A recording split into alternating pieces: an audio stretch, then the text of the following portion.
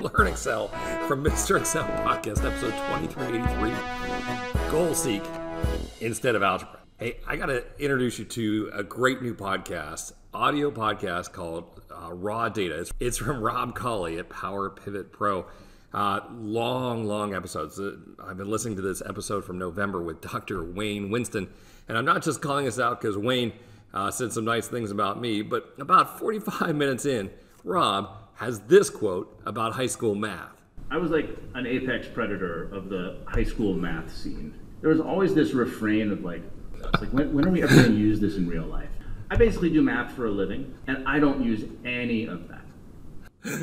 and it reminded me of a question that came up uh, just this week. A lot of times in the morning, the first thing I do is I go look at various message boards to try and answer a question. And I'm, of course, on the Excel boards, but somehow, somehow, I've gotten sucked into a math board.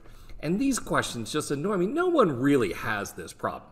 The sum of three numbers is 70. The first number is five more than the second. The third number is three times the second. What are the numbers? This is some high school math professor trying to get us to do algebra. I'm like, I'm not going to do algebra. All right, so over there in A2, we're just going to put a number, some temporary number. And then we know the first number is 5 more than the second, so the second number is this minus 5. The third number is equal 3 times the second number, and then a sum here. And I need that whole thing to add up to 70.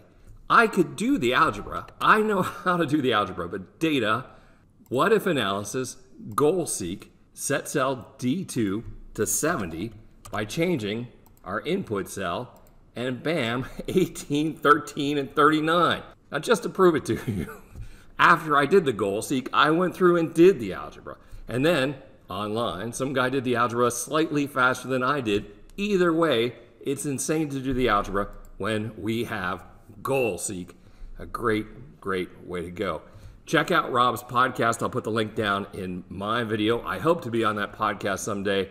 Just a great discussion about data. If you like my podcast, please down below like, subscribe, and ring that bell. Feel free to post any questions or comments down in the comments below.